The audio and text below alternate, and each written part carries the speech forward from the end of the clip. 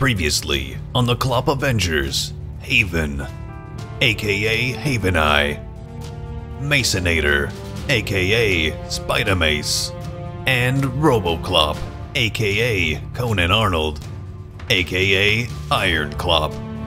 They investigated the Tower of Bhanos looking for a way in, only to realize that this potential threat could be worse than they ever imagined. In order to survive, they have one chance, and their chance is to fight back. The epic battles await.